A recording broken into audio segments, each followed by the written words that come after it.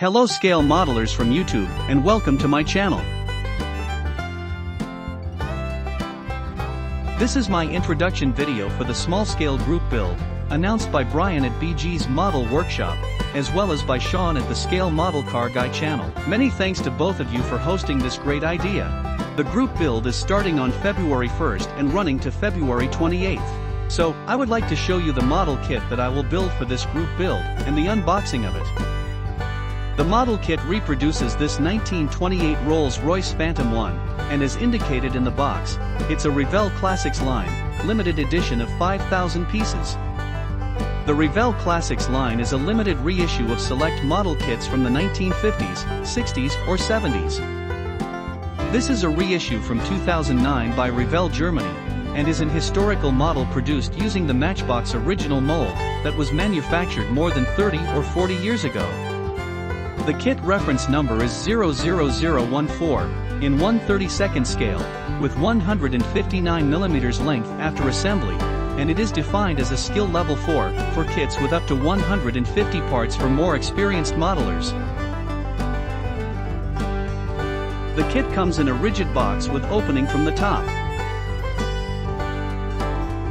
The car pieces are molded in red for the body parts and brown for interior and for some of the parts of the engine, transmission, and suspension.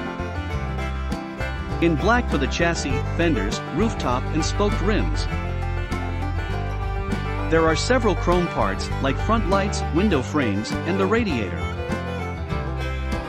For the windows and light lenses, we have clear plastic. The four tires and the two spare tires are in hard black rubber. Inside the box there are also the instructions manual and a decal sheet. In my kit the decal sheet is missing, but as far as I could check in the instructions, the decals are only the license plates, so I will print new ones.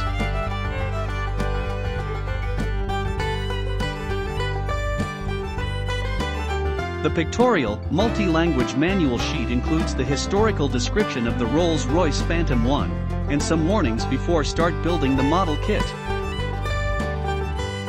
Then we have the indication of the used symbols in this manual, as well as the used colors to paint the model kit.